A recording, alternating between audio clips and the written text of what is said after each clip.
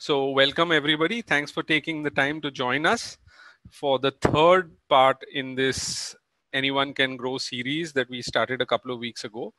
Uh, the idea really has been, you know, to see if we cannot share some knowledge uh, that would be useful for people who find suddenly, perhaps for the first time in our lives, that our food security is realistically threatened.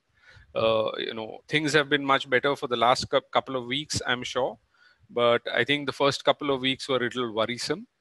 Uh, we are also concerned that we may not be out of the woods yet, either with respect to the coronavirus or with respect to, you know, interruption to our food security. And the reason for that is, as you're aware, you know, a lot of farms start planting now for the next season. So number one, harvest from farms have been coming in in a patchy way simply because demand has dropped a lot and things like that. And a lot of the markets are closed. Um, also, simultaneously, we are finding that you know you're going to have problems with the next crop being planted, even as the current crops are sort of being uh, cleared out. So we may have issues with food security even like a month or two from now. So our proposal is that you know you can offset some of this by growing a little at home. I know a lot of you may be actually doing this for the first time and uh, it may not seem very productive but we believe it can be a lot of fun to do. It can uh, introduce really nutritious and delicious food to you in a way that you can really make out the difference. And of course, you know, you can get over any shortcomings that you face, uh, say a month or two from now, right? So we feel the next best time to get started is right now.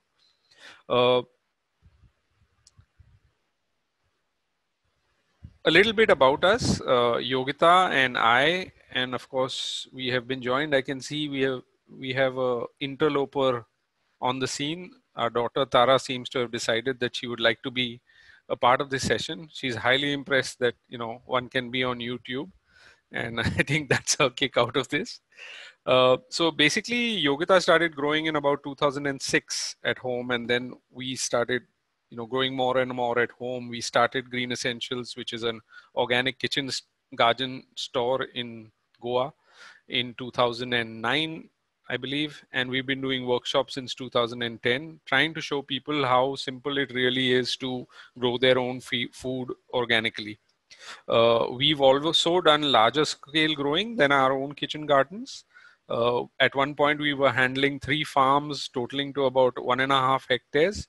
Uh, fruits, vegetables, crops like coconuts, things like that. We didn't do a lot of grain, but fruits and vegetables and herbs has really be really been the core of our growing. We used to run farmers markets, we used to supply stuff to supermarkets and so on and so forth. And what we really have been trying to do is to co help coach new kitchen gardeners in the process of growing their own food. So that's really our goal with this session and our goal in general. Uh, we believe gardens can be very productive simply because that's what we've experienced now for over 12 years, almost 14 years. And this is an example of a very recent harvest at our place. You will see we got a few strawberries, less this season than we usually do. Uh, we've got lettuce, we've got uh, mustard greens, uh, we've got spring onions, pineapple, and so on. So, you know, more or less what we found during this lockdown is that we've had more food growing at our place than we can in you know as a family of three actually consume. And that's been a good situation to be in. Uh, i'd just like to take, take a quick minute to sort of recap what we've been doing in the past sessions also uh, especially for those people who were a part of them. Uh, in the in the last session we talked about how to prepare our own containers so how do we select pots or containers of the right size.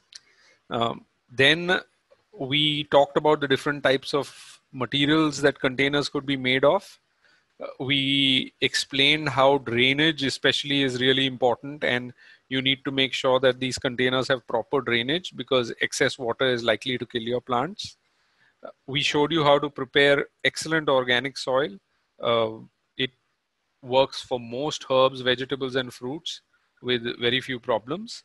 Uh, you will remember that the proportions we talked about were 50, 25, 25, where 50% is any garden soil that you can find even in your compound.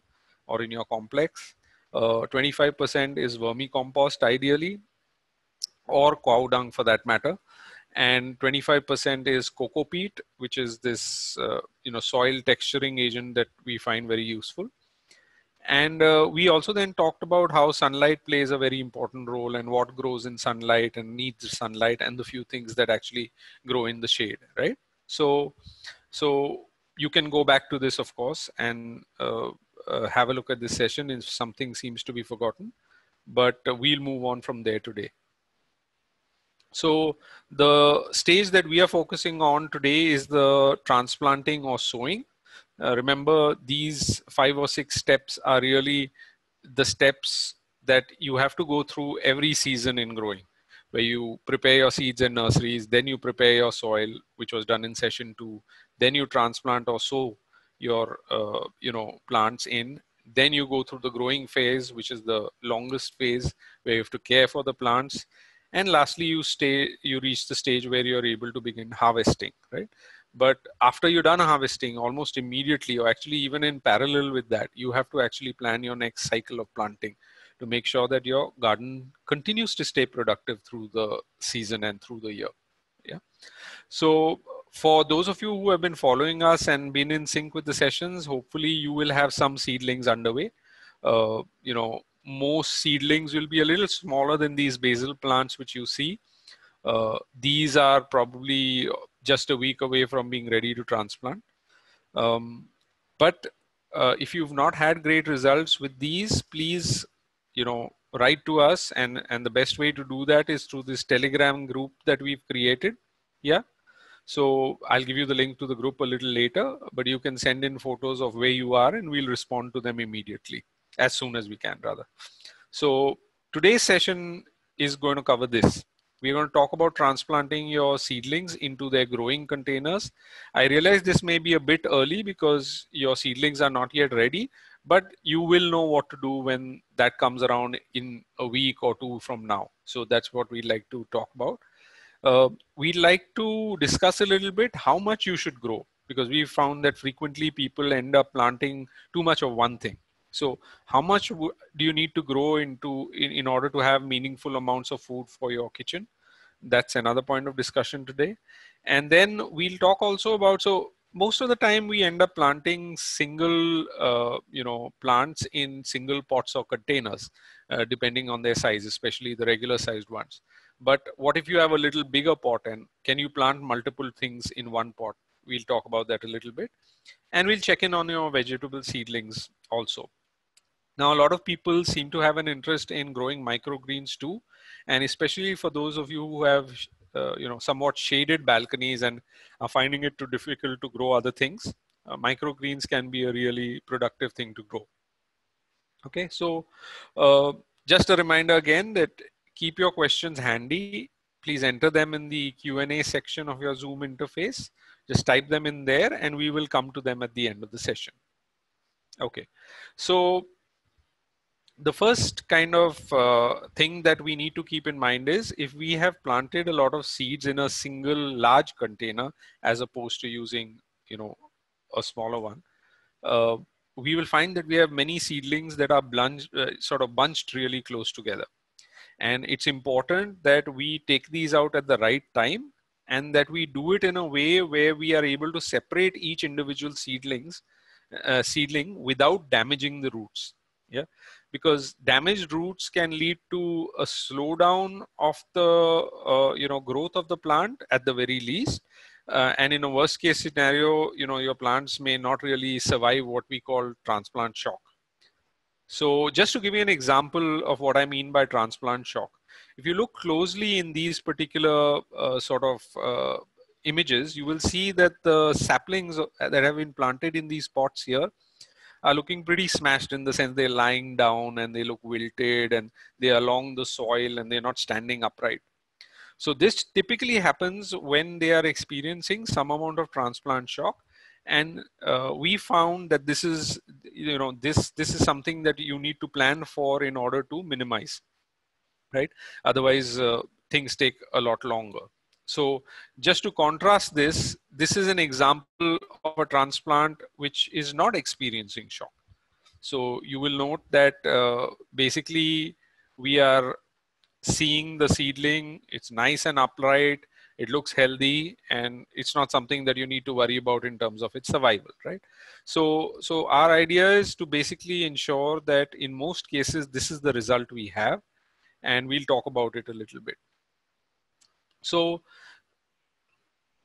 imagining that you are actually taking seedlings out separating them from a pot and then transplanting them you know uh, here are some of the things that you need to do uh, you need to prepare the seedlings for their transition into the new growing container. And the best way to do this is by sort of putting them through a little bit of inconvenience or discomfort uh, in advance of the actual transplanting. So usually what we will do is we will begin working on them about a week before we are going to transplant. So if today is Thursday, then the previous Friday, I would have started reducing the amount of watering to the plants. I would cut down the water given to them, this, uh, sorry, the saplings.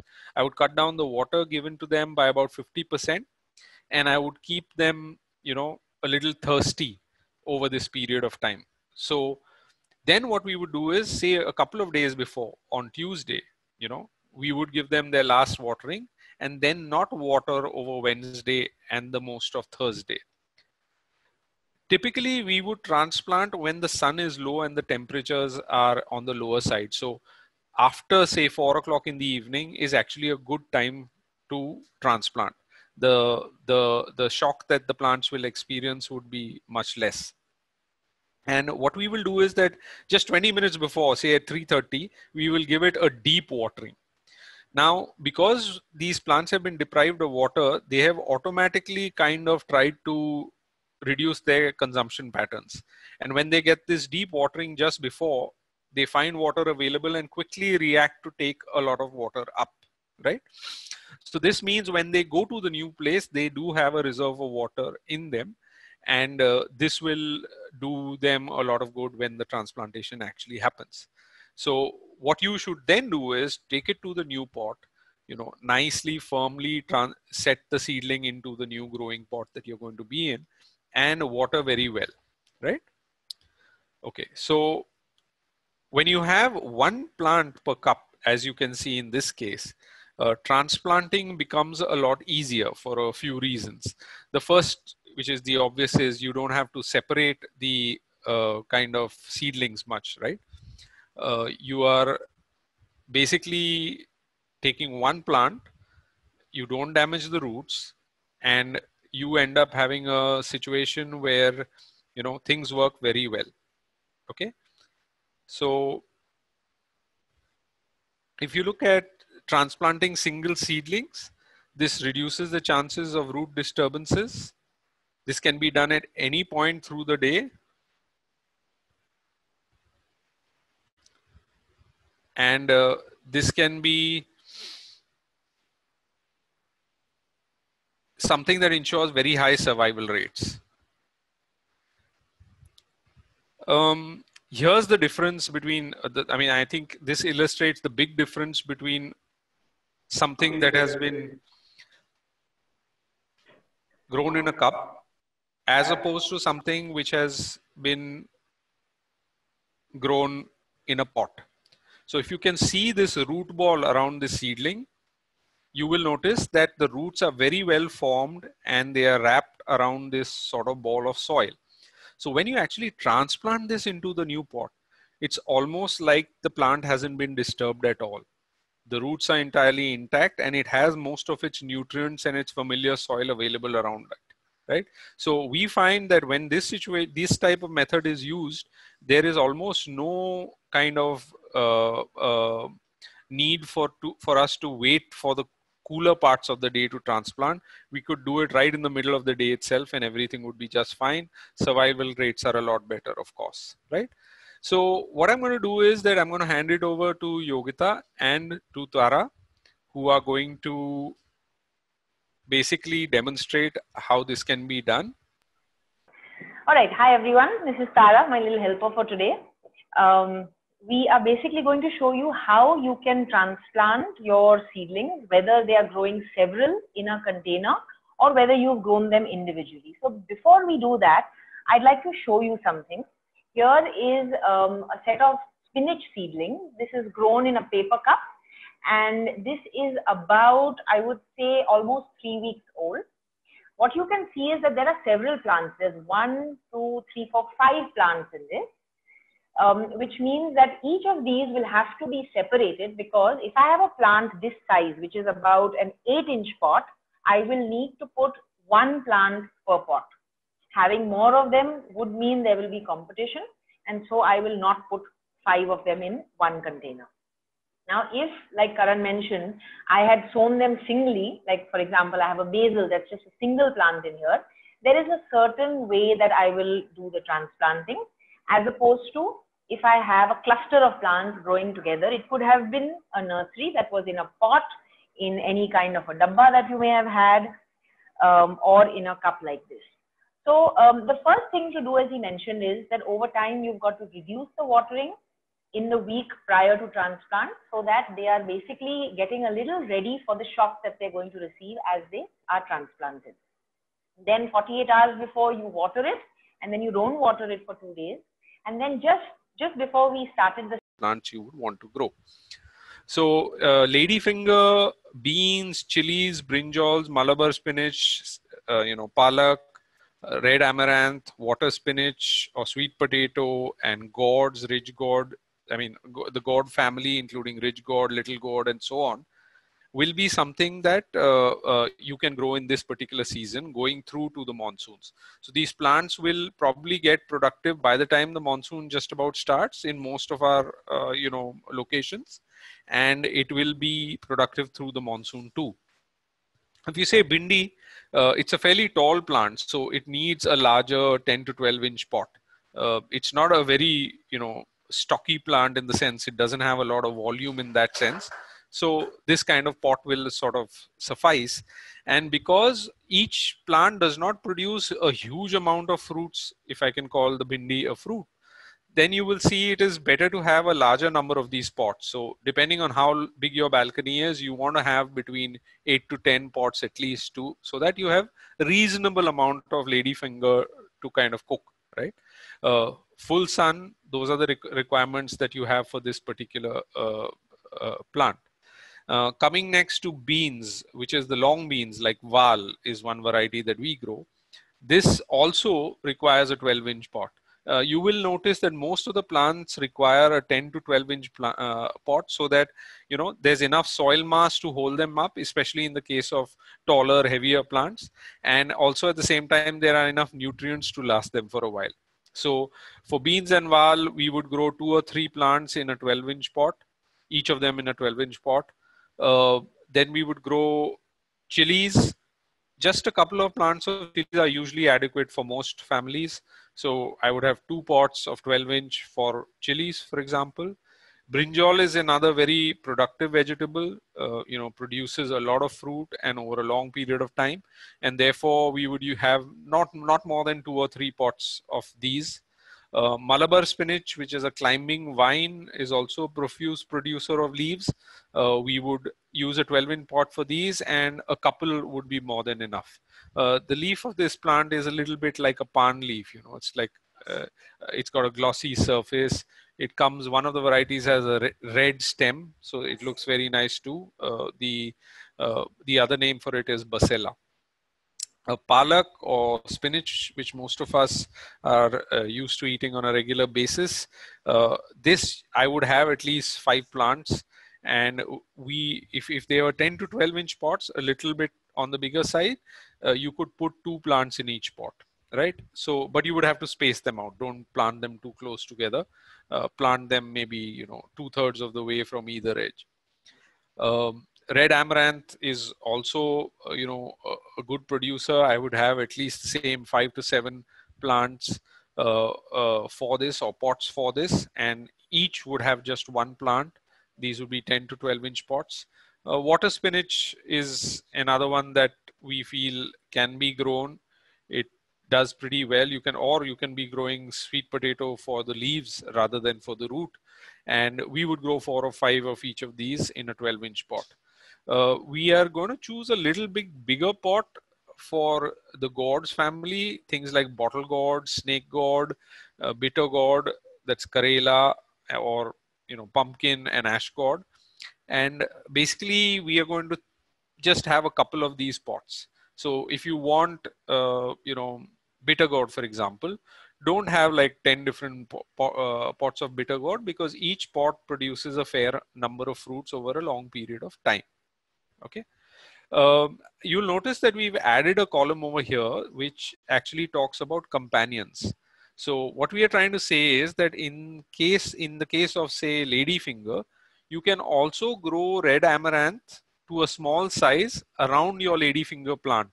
So if you have red amaranth seeds, you can sprinkle them there and you can harvest them young, right? You have to not let the plant get too crowded, but they will kind of grow in, in, in parallel. Usually what we look to do is to have a low plant growing within the pot and then a taller plant. Since bindi is pretty tall, it may go up at least four feet high. Uh, you know, it'll grow above the red amaranth and it will get all the sunlight it needs. Val is another climber. It's a good idea to use a, like a bamboo stake and let it climb in your pot.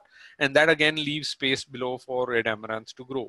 Uh, chilies, you can plant some spinach with them. Again, in each of these cases, uh, the spinach would have to be harvested at a little younger stage simply because you don't want it to completely crowd out the chilies and start competing with it. But it is possible to grow multiple things in a single pot.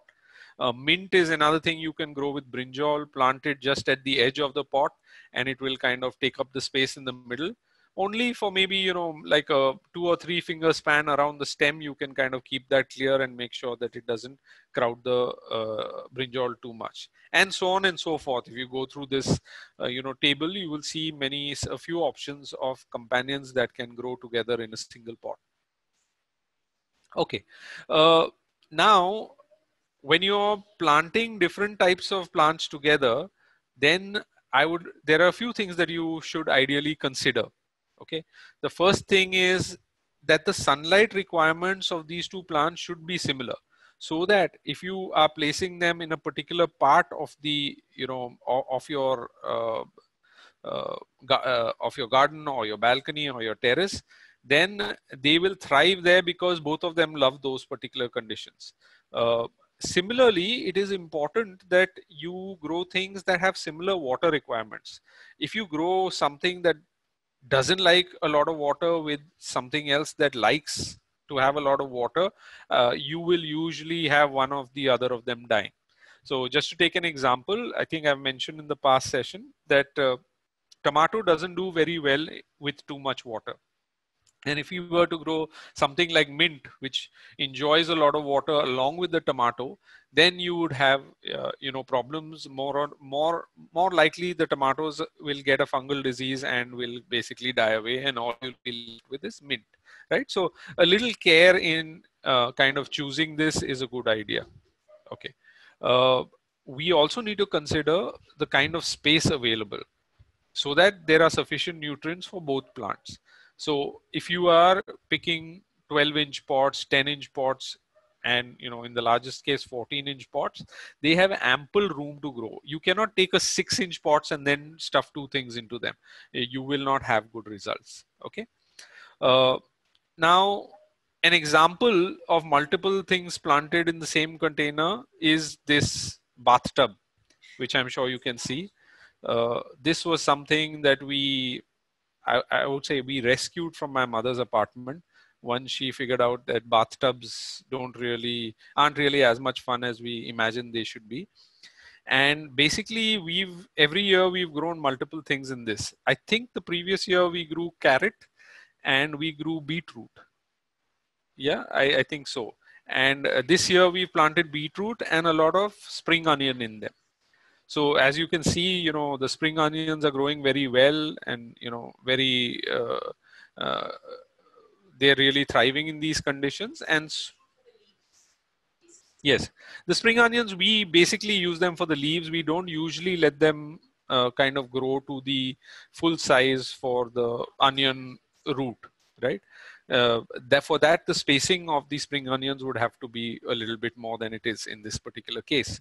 You will also see that we have several pots around here. We have kale growing around here. I can see chilies I can see talinum. I can see, I think, some beans in the background. Uh, also, some peppermint and so on. So what we try to do is we try to ensure that we have a lot of diversity because this also helps us uh, experience less damage from pests, right? Uh, yeah, there's some lettuce in there also. So, so ideally in your garden space, try and make sure that you grow many things and yet get sufficient quantities of the things that you're really interested in consuming. Okay. Uh, after this, we'll move on to microgreens and, uh, you know, this is something that a lot of urban folks especially seem to have a great interest in eating. Uh, there are certain benefits that uh, we believe you know nitrogreen microgreens provide uh, in terms of nutrition itself. Uh, it's like sprouts are popular with a lot of people who have a greater interest in healthy food because they create they they contain a lot more nutritious uh, uh, materials in them at that stage of growth.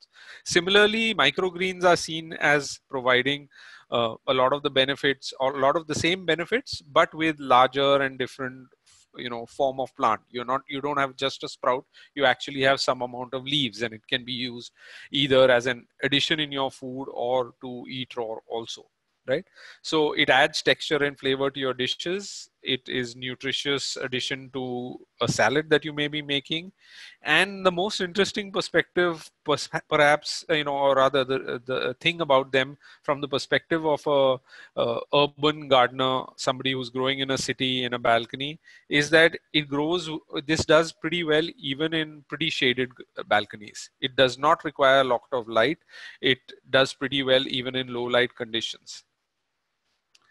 Now, uh, I'll come to preparing your microgreen trays and I think I'll, should I hand it over to you? Okay, oh, I'll just go over it. So basically microgreens are grow, grown in shallow trays and containers. Yogita will just demonstrate it to you in a middle, minute.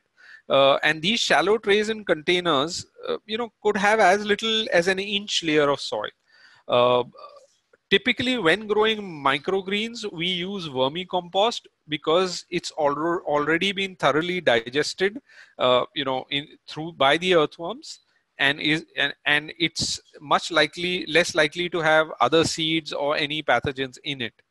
Uh, we also use coco peat which is again the dust that you get out of coconuts after they make ropes and other things out of them and this is kind of compacted and sold in blocks most of the time. You need to take the blocks and dip them in a bucket of water. They sort of open up and increase in volume. And once you've sort of shade dried them you use it to make your mix your medium or, or soil for this uh, microgreens. So about 70% of coco peat and 30% of vermicompost is sufficient. We are not putting large amounts of nutrients like vermicompost only for the reason that it's, you know, just a 15 odd day growing period and you don't really need a lot of nutrition, right? Now, we basically also have this other rule which we don't re reuse the medium again and again not for growing microgreens. So what will typically happen is we will use a particular tray or we will do microgreens in a tray and once that microgreen lot is harvested we will probably reuse that in pots in growing pots where we are growing other things and we don't use it in the trays itself. Yogita will talk a little bit about why that is. Uh, one very important thing to consider is because microgreens are basically small baby plants which are grown very de densely uh, we need a lot of seeds for this. So if during the lockdown you don't have access to a lot of seeds this may some, be something that you have to wait to get started. Of course there are some things in your kitchen which you may have adequate quantity of seeds up for and uh, uh, these will really uh, be something you can get started at this time also so Yogita will, you know, talk about some of these things in a little greater detail as she demonstrates things. Uh, and uh, we will kind of, you know, go through this also. Um, I'm going to switch over to Yogita and uh, okay. she'll demonstrate exactly what you mean. Okay. Um, so I have my tray here again. And if you look, I don't know if it's visible clearly. But if you look, you can see that um, there are 10 little katoris in here, of which three of them, that is 30%, uh, contain coco peat, these three, and seven of them have our, uh, uh, sorry, these contain vermicompost, and these over here contain coco peat. So that's the proportion of the two that you need to mix it in. Can I be heard? Okay. Yeah, so Tara, I need your help. So 70% um, coco peat, 30% vermicompost. That's an appropriate mix. Um, we mix these and we get, we'll put them into the tray. But before that, I just want to mention that you could use seeds that you buy from outside for your, um, and we'll go through which are the ones that make good microgreens. For example, I have radish, a whole packet full of radish seeds, and you will need a lot of seed to make microgreens. Um, but if you're unable to get this, you can take, you know, whole urad dal, whole moong dal that is amply available in many homes. These sprout really quickly and make for very nutritious and uh, they grow quickly as well and, and, and nutritious microgreens. Then you have pea shoots, which are very popular. So if you don't have peas, you know, dried peas, there's this other vatana that can be soaked and can be planted. This also would make really nice um, microgreens. Then you have mustard seeds. Again, they'll have a nice sharp flavor. You can also try methi. Methi tastes really nice as a microgreen. In our warm and tropical conditions, the winters actually are best for um, growing methi. In the summer months, it's difficult. So they do work very well as microgreens at this point in time. Um, so these are some of the seeds that you can use. Let's do the mix. Tara, can I have your help, please, to make this mix? Can you upturn all of these? And 70, 30 of this. Mix it up well.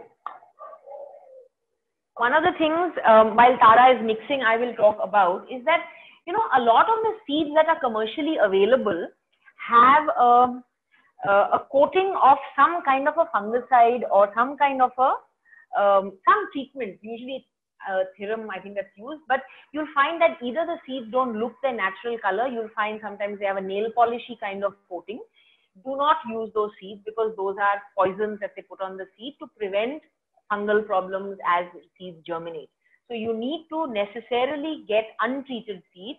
If you can access organic seed, all the better. But even if they are just untreated, they are good enough. You should not use. And if you buy uh, one of the commercial packets of seeds, you will find that it says do not use as food or feed because it contains poison in it. So do not use those. You could fall sick just to sort of cut in Yogita, uh, one of the things that in this particular case is uh, Yogita is talking about not using these for microgreens because you will still have the seed residue when you actually harvest your greens, right? It'll be very close to the itself, right? Uh, so uh, if you if you were growing this as a seedling in your pots, you know, or your nurseries, it wouldn't be such so much of a problem. Uh, one of the things you can also do to reduce this coating, though I would still not use coated seeds for microgreens, is the uh, is the uh, you know diluted milk. So you can pretty much soak them, you know, for an hour or two, Yogita, or maybe overnight in diluted milk, maybe overnight. Yeah, at least three four hours, and this would reduce that coating. It would wash off some of those uh, fungicides and make it uh, sort of easier to use in your growing process. I, am I just mean in the sense that it's a little closer to a healthier kind of seed. Okay. So now what kind of a container to use? Basically, we don't need a very deep container. A shallow container of about an inch or an inch and a half depth is sufficient. I have um, a typical container that we can use for microgreens. What's important is the number of holes that you see over here. If you see, there are several holes in this. Um, this is a hydroponic tray actually, and it can be used just as well for microgreens. If you don't have access to this, any good old dabba, tiffin dabba from your kitchen will do. Make sure you poke holes so that the water drains out. Excess water can be a problem. It may cause fungal issues. So this is Tara's lunch box that can be used. We need to make holes in this or any other container. This is actually much deeper than we need uh, if you use a container this deep, make sure you bring the soil right up till the top because during harvesting, if it is deep inside, you will find it very difficult to cut and you will lose a lot of your microgreens. So now we're going to use this container. Tara, can you help me fill this please? Yeah, maybe I'll hold this up and empty it in here and give me that other container over there. We have prepared another container already with the same 70-30 mix. And can you spread it out so that it, yeah, nice and, and we may need a little more.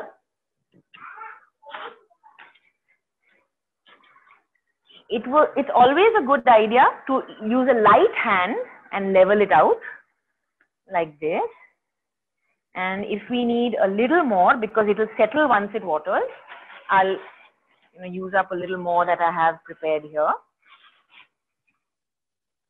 Yeah. Smoothen it out, smoothen it out. Okay, and I'm going to plant um, seeds of radish in this. Radish has a nice spicy pungent kick. It tastes great in a salad. It tastes great in a um, sandwich. It tastes great on anything actually. Okay, that's it, that's it. That's it, it's smoothened out, that's it. All right, now, level, level.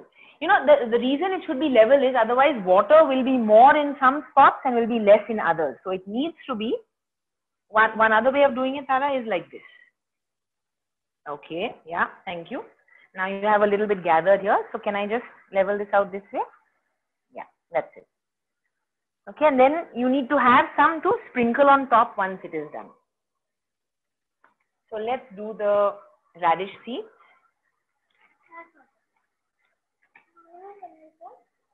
So this we have to make sure, there are two ways to do this. Either you can make, you know, just furrows with your finger like this at say closer, closer. So you can use two fingers like this. Yeah, two and a half inch spacing. Now spread it. Or you can even just directly do it and maybe make one last one over here like this. And we can sprinkle them in the furrows and then you gently cover it. Or the other way to do it is just um, have it plain, sprinkle it, you know, all over. One minute, one minute, one minute, one minute. Don't be impatient. Yeah. And spread it out, not too thick and not too, not too, so like this. So I am choosing to do it the second way because I want it to be a little dense. And that it will, um, so you can see how dense it is. You should be able to see the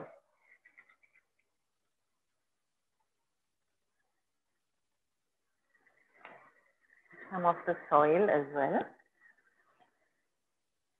Yeah, spread it all out, spread it all out. Okay. Tara, now just can you sit here one moment? Yeah, thank you. Okay. Where you find it's too dense, you can just use your fingers and sort of spread it a little evenly.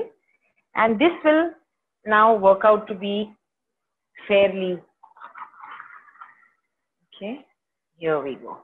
So if you can see, maybe I'll hold it closer to the camera. More or less that's the density we've got. Now what I will do, sit down. Now what I will do is I will take the remaining mix the same mix and just cover it very lightly so that these are not visible. Okay. And then again with a, um, with a very light hand or you can use a rose can, watering can, make sure that you water it well because there are so many holes, the water will come out and you'll need to keep checking for moisture levels. It should not go dry. That's the main thing because if it does, then your germination process either slows down or stops completely. So it should be continuously moist, but not wet. As you can see now, the seeds should not be visible.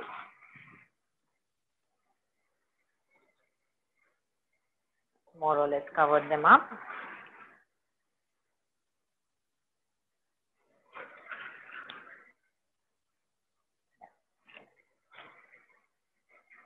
And again, I won't water it here, but with a light shower can, you just water it, all the water will drain out and now this is ready. And I'll just show you, um,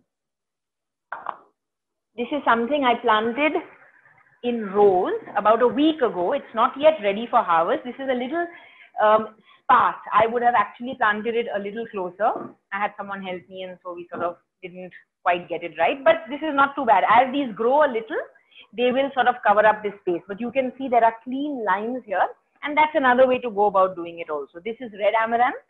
This was planted on the 70s. So as this grows, we will perhaps in the next couple of sessions even show how these are to be harvested. Okay, over to you, Karan.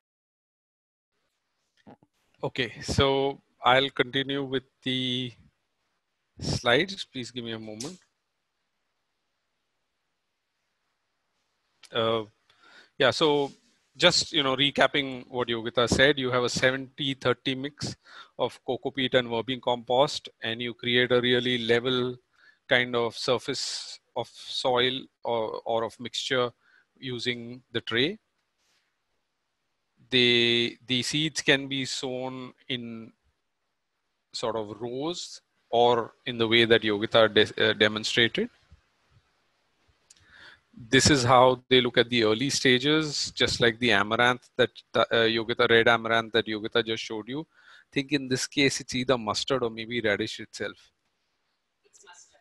Yeah, and uh, this is how they look when they're almost ready to harvest. So you can see these, these are probably about 15 days or 16 days old, right? Uh, one thing to just note when we are saying 15 odd days, uh, uh, what tends to happen is things like mustard germinate very quickly in just a couple of days.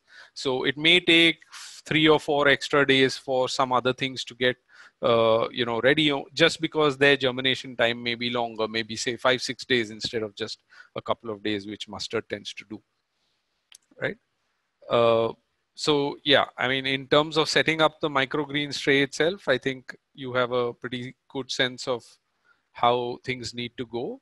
And I'll move on to things that you need to keep in mind when you're growing microgreens, just as a sort of summarizing thing to that demonstration.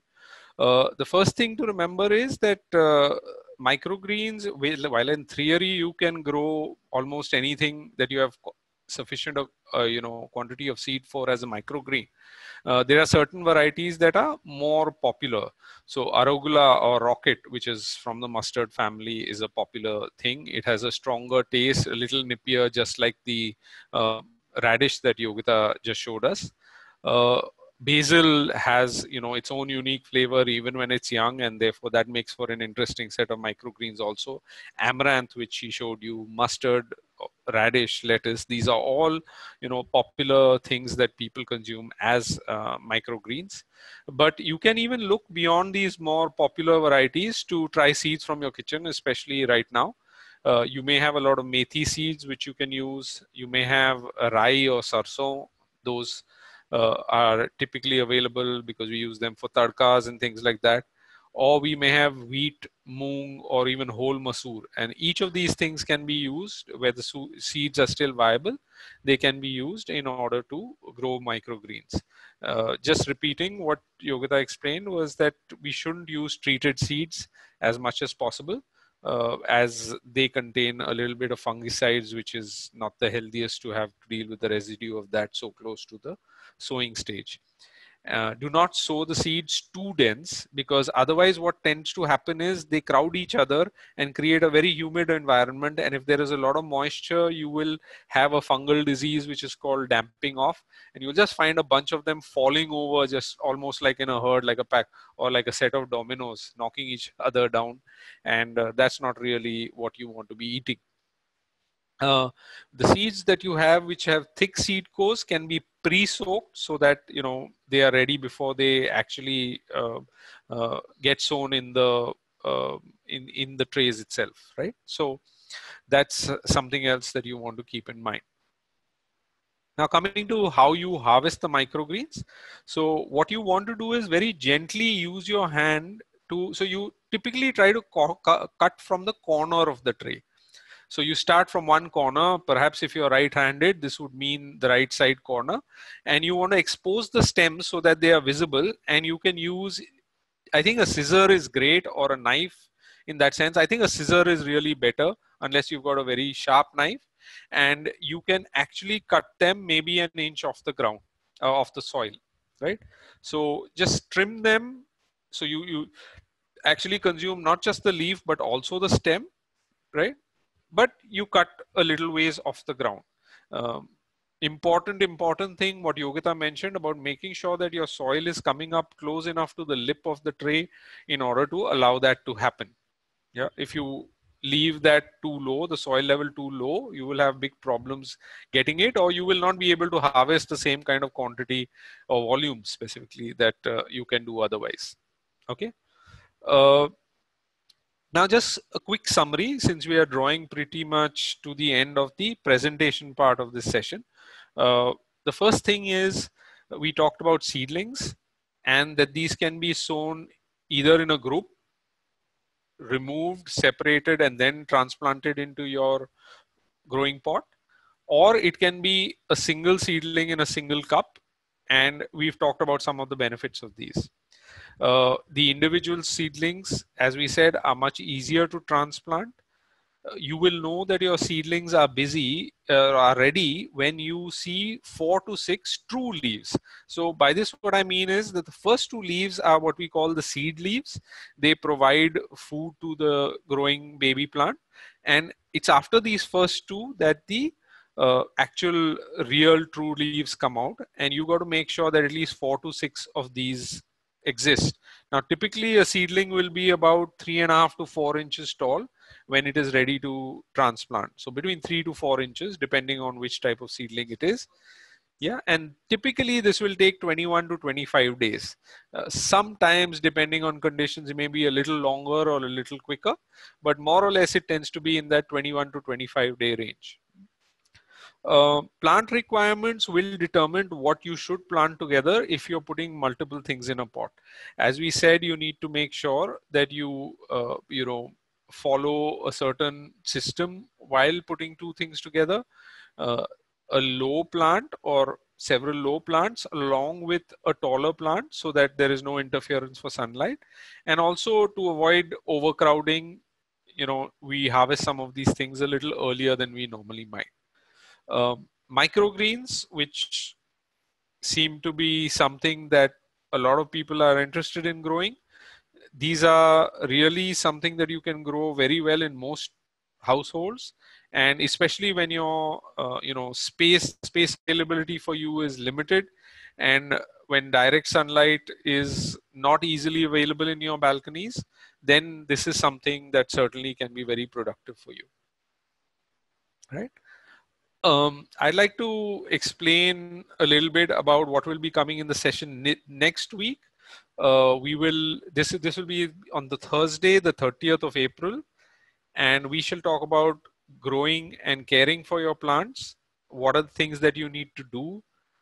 Watering, sunlight, nutrients, pruning, all the different things that contribute to this plant care and plant health.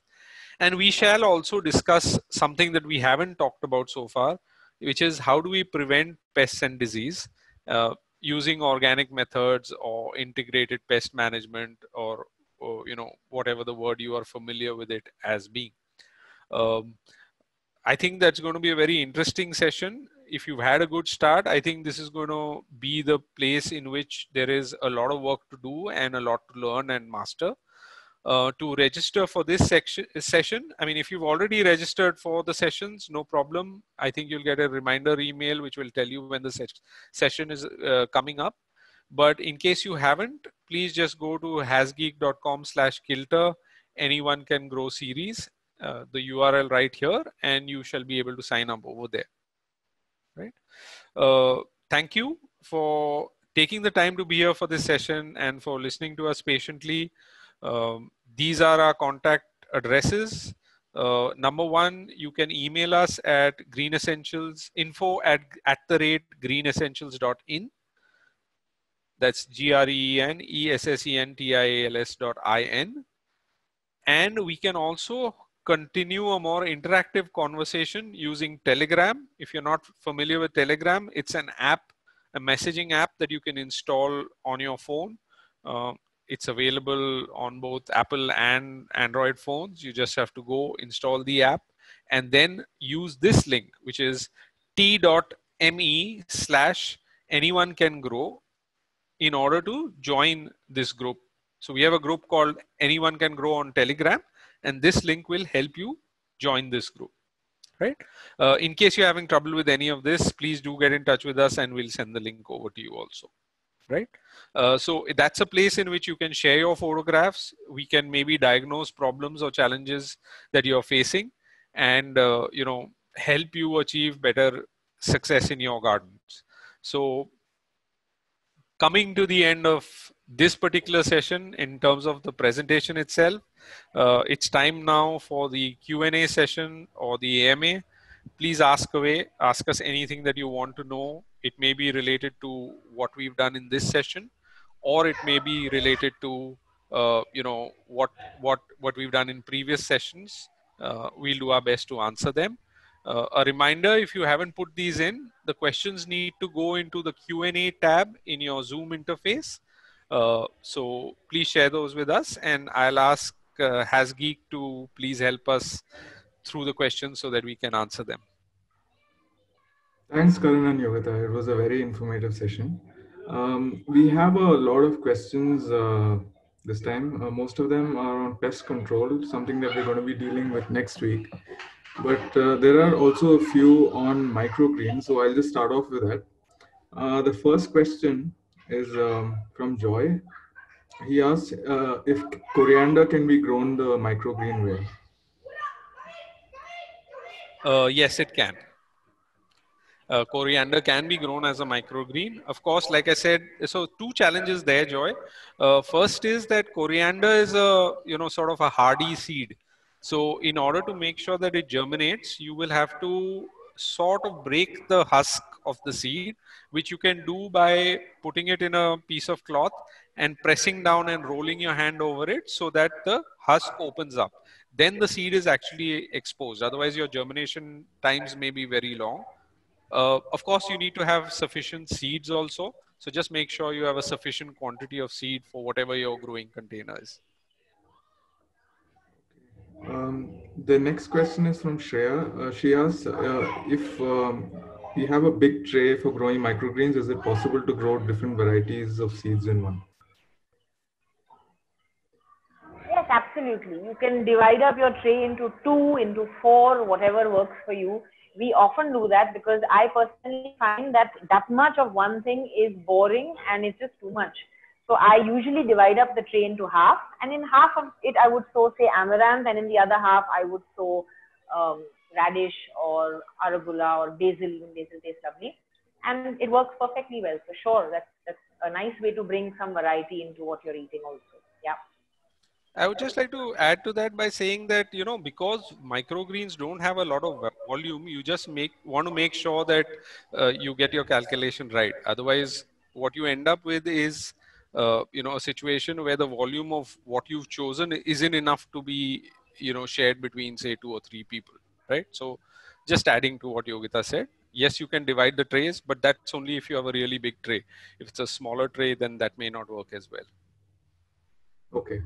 Um, the next question is from uh, Jessica. Uh, she asks if there are any special tips for growing microgreens directly on the ground uh, rather than on pots. Um, Jessica, I would not really uh, grow microgreens in the ground. And the reason that I say for that is, is that since it is at such a low level close to the soil, if there is something wrong in the soil nearby, it's it's likely to affect your microgreens. So by that I mean like you know uh, if you if you just take an example of a typical garden, if you've got a dog, he's going to visit, and if he's going to visit, he's probably going to shower it. So that's not a lot of fun when you're eating microgreens. With taller plants over time, a lot of that washes off because the top, top the microgreens itself grow just over two weeks. Okay, she also asks if um, uh, once you cut the microgreens, uh, do they grow back again or? or No, do they don't. And that's one of the reasons why microgreens, in my view, are not a very efficient use of seed because once you harvest them, they are done. They will not grow back. Okay. Also, uh, somebody asked if monsoon is a bad time to grow microgreens. No, monsoon is not a. In fact, microgreens I think is something that can be grown all year round. Um, if you have a sheltered balcony, as long as you know you're not keeping it. In fact, you should not keep this out completely in sunlight. It should get a little bit of light. That's fine, but it does not need a whole lot of light. And uh, if it gets a lot of water from the rain, the heavy monsoons that we have, they will just get flattened or they will, you know, fall to one side and they will be unhealthy. So um, because you don't need it to be out in the open, you can grow this 12 months of the year and you can grow it in any small corner of your apartment or in um, by a window or by a balcony that doesn't even get a lot of sunlight. So 12 months is good.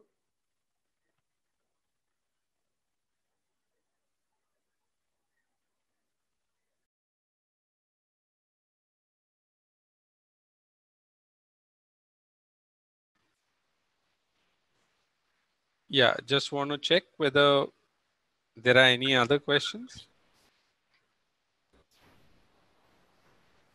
Um, I don't know if Anish is. He may have lost. I, I'm having some disturbance uh, Okay, in the background. I Uh, can hear Zainab, Can you just take over? I'm, I'm just trying to fix this. Sure. Uh, Karan, can you hear me? Yes, yes, absolutely. Okay.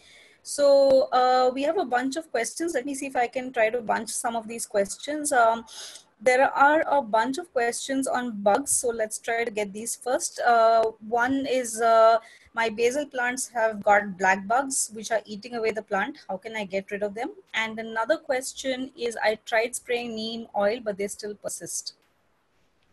Okay, so uh, most likely black bugs, especially if they are on the underside of the basil leaf, is black aphids. And uh, the problem, the, the, the, the, the, the problem of black aphids usually happens in the transition of seasons and when there is not great circulation, air circulation possible. So essentially aphids, they love humidity and warmth. And especially when you're going I, I, I if, if you're in bangalore for instance you may be going from cooler weather to warmer weather right now. And the humidity may be higher than it has been over the last few months. And you know you will have ap- aphids appear but they tend the problem tends to be more severe when you have not spaced out your plants either your pots properly and therefore breeze is not flowing in so you would be trapped in those spaces. That's when the problem tends to be more severe right? So the best thing to do with aphids is uh, this this depends a little bit on the age of the plants. But in older plants the way, way that we could we teach it treat it is we can actually just use a toothbrush and soap solution and brush them off they don't have wings they're not going to come back so you can just toss them away somewhere far away you know in the garden or whatever it is and you will have solved the problem for your garden for now Uh, thanks, Karan. Uh, Cora, I hope this answers your question. Okay, back to uh, last couple of questions on uh, pests, and then we'll go to the next set of questions. One is from Viraj, uh, where he said he's been using a mix of soap and tobacco and water for the small pests on his greens, but it hasn't worked. I have been spraying twice a day. Should I also add some chili powder or garlic or neem?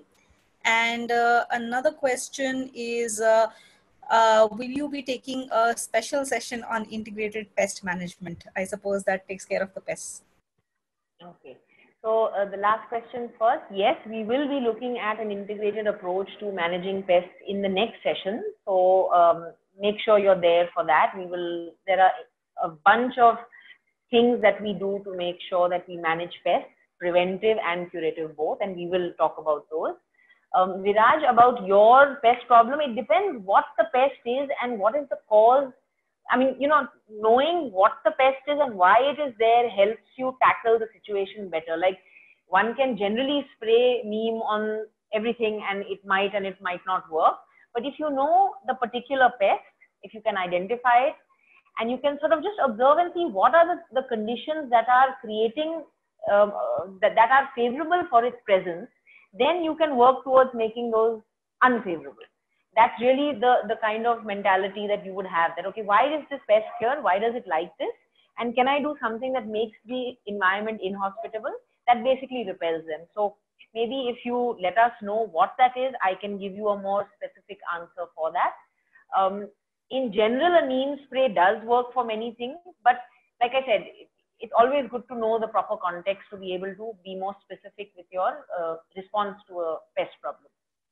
So Viraj, if you can do this, I, I don't know if you're already on the Telegram group, but if you can join us over there, then what we'll do yeah, is yeah. that we'll, and, and if you can post some photographs, then that will allow us to sort of identify the pest and to make sure that we can give you a very specific solution.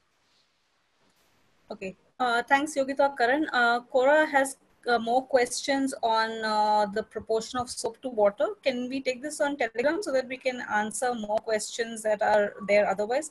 Uh, Cora will paste the link here for the Telegram group. Uh, would request Cora and Viraj and some of the others to join so that we can take the next set of questions. Okay, so in the Q&A tab, uh, just before you start that, Zainab, sure. if I can quickly uh, interrupt just for a second. See, sure. general, I would uh, say this. I, I know that when we started growing, we were equally anxious about pests and disease. And this is a very natural reaction when one is new to growing because one sort of feels that, you know, disaster is just around the corner. And, uh, but let me reassure you, don't think too much about pests if you can help it those solutions will come and typically pest problems will happen as the plants get older. Usually i don't see a lot of problems happening in the first month for example right? So usually those happen later which is why we'll cover it in the next session. Uh, don't stress too much about it. Uh, eventually when we are taking an organic approach we basically say that you know prevention is our goal. And if we do lose one thing it's not too bad as long as we don't lose you know huge amounts of the crop uh, thanks for this prescription, Karan. So back to the Q&A tab, uh, we move from unlucky number 13 to now 11 questions. Uh, uh, let's try to take them in a bunch of groups. Um, we have one question from Devaki who asks uh, whether it's okay to use the potting mix sold by Green Essentials to grow the microgreens because she already has some of that in stock. Uh, we have one more question for Green Essentials uh, from Avani, who says that she bought Brazilian spinach from Green Essentials today, and she was told she can grow it directly in soil. How big is a bed that she should make for it? And she has a single bag to grow. Uh, we'll take more questions after. Okay, so the last question always stays in my mind first. I'll start with that. Um, Avni, actually, Brazilian spinach will take over whatever area you give it. So if you have a lot of area, plant it in there. Uh, Brazilian spinach prefers a semi-shaded kind of environment. So if you have a place where I would say save up the sunlight for things that cannot do without it and push things that are okay in semi-shade into semi-shade. So uh, make as big a bed as you want. It will creep and crawl. It's a beautiful ground cover. It looks gorgeous, nice dark leaves, and it's a perennial. So that means it will be there all the while and you just keep harvesting and it'll keep spreading and you keep harvesting and it'll keep spreading. So give it as much space as you have or you can afford to give it and that should be fine. Um, the question before that was about whether you can use uh, potting soil for um, growing microgreens. I would not use potting soil because potting soil comes with 50% soil and often that soil contains um, you know, seeds of different kinds of weeds. It may have pathogens uh, that may not be digested as in the case with vermicompost and coco peat. So um, I would stick to a soilless mix for microgreens and the soil, the potting soil or the soil mix can be used either in your pot or in, in like a small garden space that you demarcate. So yeah, I would go with a soilless, uh, soilless mix for microgreens. Thanks. So we can take the next set of questions. Uh, let's see. Uh, we have a couple of uh, questions about uh, poor little plants. There is tomatoes are blackened at the bottom. What should I do? And another one saying that uh, it's been four to five weeks, but I have only one or two chilies. Uh, why? Okay, so the blackening at the bottom of a tomato is not a good sign. Basically, it's a fungal disease that seems to be occurring over there. Right. So what you want to do is that you want to very quickly cut down your watering uh, and you want to move these to a very sunny spot. So if this is possible, please do this immediately. Uh, the idea being the reduced availability of moisture and uh, you know the the the kind of exclusion of moisture due to the sunlight will lead to conditions which should allow them to recover. Uh, of course, you know a photograph would help to show the extent of the damage, but uh, uh, I would say in general that is the approach that you take to deal with this right now. Uh, was there a second part of that uh, no, uh, no, there wasn't. Uh, but uh, Arti had another question, which is that uh, she also has other plants like mango and ramphal, but they don't fruit. there is a related question on what is the best time to grow lettuce. Okay, so Arti, um, you know, fruiting plants is another whole session. You know the way they function, but um, you know, is it that the flowers are coming and they are falling prematurely? Is it that your plant is not flowering at all? So the reason why it's not producing could be many. How old is your tree? Um, you know, what kind of soil is it growing in? What kind of nutrition are you providing it? So there are many reasons. There are about six or seven things that you need to sort of look at before you understand why a tree is not fruiting. Um, if you can get back with a more specific thing or maybe on um, on Telegram, we could have a little discussion about it. Um, there's a lot to be spoken about for uh, why fruit trees don't. I'm sorry, I'm not able to give you a specific answer. But bottom line is you need to fix your soil. But more specific once we get more input from you. Um, what was the second question? Sorry. Somebody there was a follow -up. Yeah. Uh, so we had uh, we had what is the best time to grow lettuce and uh, lettuce. I think yeah. Okay, so lettuce is basically a temperate crop. It's not typically from our tropical areas.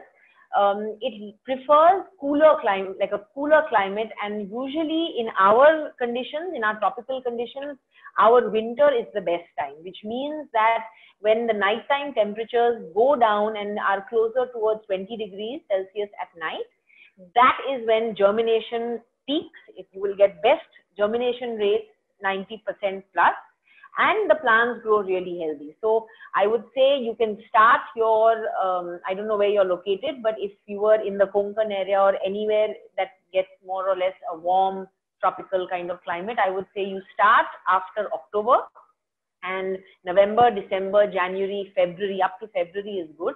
And if you have, you know, some freak of weather like we have now, I have been, the plants that I planted have continued to grow right now till, till April. Usually that doesn't happen but it prefers that stretch of winter and it does well then. So just to add to what Yogita said, uh, a couple of parameters. So, uh, you know, if you're living in Bangalore, then that's like cheating. So, you know, I mean, even now you're going to have great weather for growing lettuce. So that's one part of the equation. Uh, if you're in warmer places like where we are, more humid places, yes, lettuce does go grow challenging at this point in time. Just in order to give you a reference range, uh, lettuce loves it between, uh, so if you're growing heading lettuces, which are the types that form into balls, right, iceberg or something like that, right? So they will tend to prefer temperatures of say 15 to 25 degrees or so they will be fine in that range, minimum to maximums. But if you're growing loose leaf lettuce varieties, something we grow more of when the, the, the climates are generally a little warmer, like in India, then they are happiest between somewhere between 18 to 30. Now, what happens at this time of the year is you start pushing past 30 on the maximums and your minimums get closer to like 23, 24 degrees or so. That's what uh, makes it challenging to grow lettuce. So I hope that you know gives you enough of a sense to uh, grow successfully. Uh, best time, like Yogita said, is starting October, November. That's when you should best grow lettuce. Okay, we have four more questions. Uh, there are uh, two from Joy, so I'll go with those first. Uh, he says he's been using a mixed bag from his local plant seller. On the bag, it says contents are manure, sand, soil, uh, fertile soil, coco peat, and husk but no proportions have been given and he's been using it as it is. Does he need anything to change? he has another question, but we could take that uh, after you respond to this one. So uh, not really. And most of the ingredients seem right. Uh, of course, like he said, you one can't be certain of the proportions.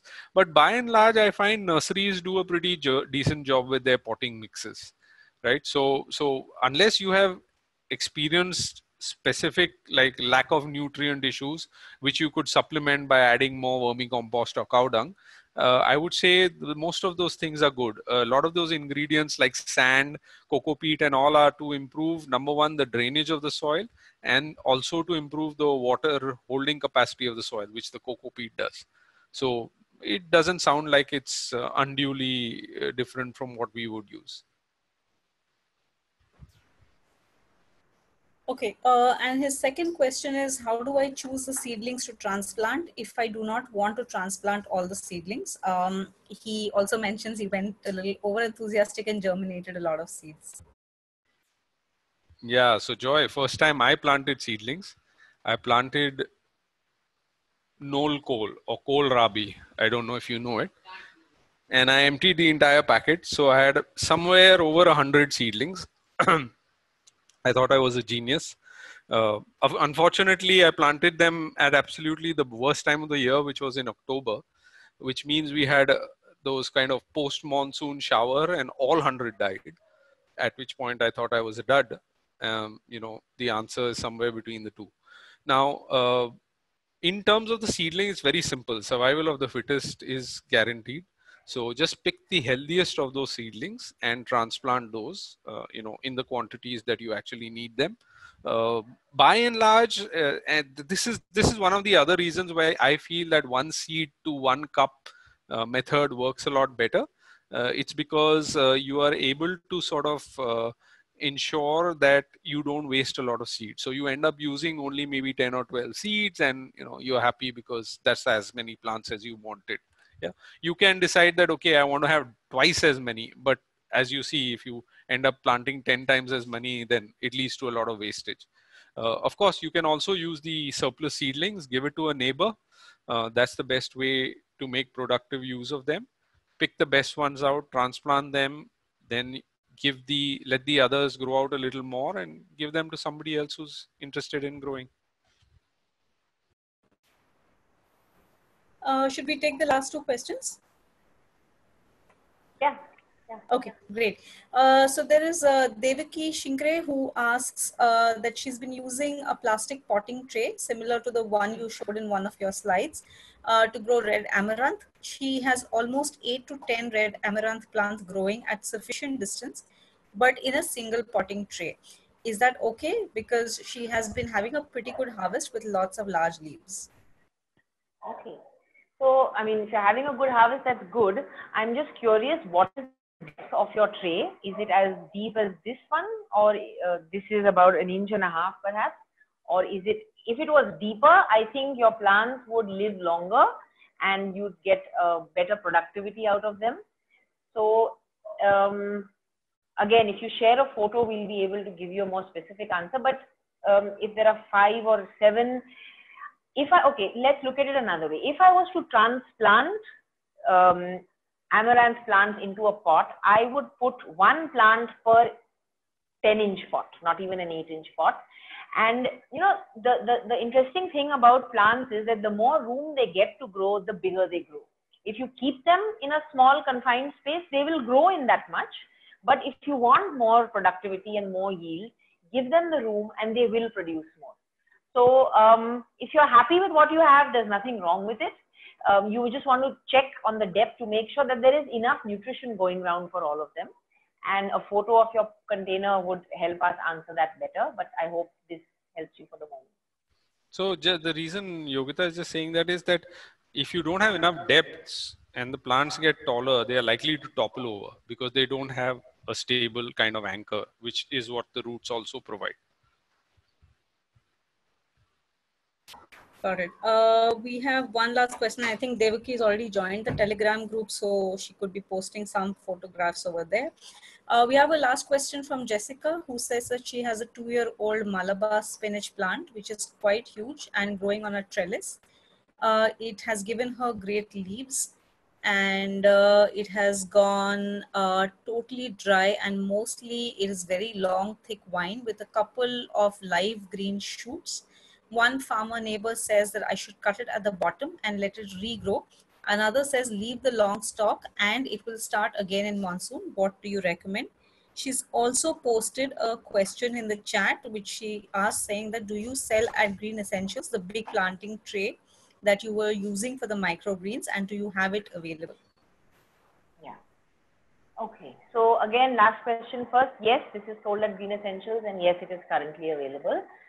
Um, with regards to your Malabar spinach, there are two, three things you can do. I would go with a haircut. Like I would cut off the long dry bits because I feel that it, the plant is carrying dead weight and there's no need for that to be there. You give it a cut it sort of perks up and it'll grow. Give it a little more compost and it'll grow back from there. Um, I would go with that approach. Um, you know, if you don't have a water shortage and you can water right now, then you don't have to really wait for the monsoons for things to spring back. Sometimes people say that you should wait until the rains to plant something is because the water is freely available. You don't need to keep going out and watering your plants. So if you have access to sufficient water and you can water your plants, give it a haircut, give it a little more compost, and it'll come back to life. Um, another thing about um, Malabar spinach is they produce these little tiny flowers, and uh, if you have the variety that we have at Green Essentials, it has a red stem, and it produces these um, uh, red. They look like black pepper corns, the seeds, and if you squish them, it stains your hand with a beautiful burgundy ink those actually are seeds that can be planted again. So if you collect those, and they usually come around the time of Holi, which is around March, you will have ample seeds on one plant, and literally you need like two seeds from that. You plant it again, and you'll get a whole fresh round of plants. So one way is to continue with the plant you have. The other way is collect some of the seeds and plant them, and you'll get new plants right away. Yogi, what would you do? Would you make cuttings from this plant, or it depends on what the how or would you be able to or how would you do it yes you can you can take cuttings from the existing plant. Take healthy cuttings. Don't take the tips that are too thin. Take the slightly thicker more mature stems. Snip those out and um, you know you can snip off the extra long bits from it and put in like two nodes into the soil and that also bears root and it grows into a new plant. So that's yet another way of propagating malabar spinach. it really is a very productive plant, produces nice big thick leaves and can be eaten raw, it can be cooked, and it's really high in vitamin C. So it's a good one to have in your garden. So that brings us to the end of the questions and answers. Uh, we see that a few more people have joined the Telegram group, so that's a good thing. And if there are any instructions for next week, I think uh, Yogita Karan, this might be a good time to give that. Um, and over to you. Okay. Yeah, just give me a minute. So, okay, so now that we are done with the questions, a couple of bits of information.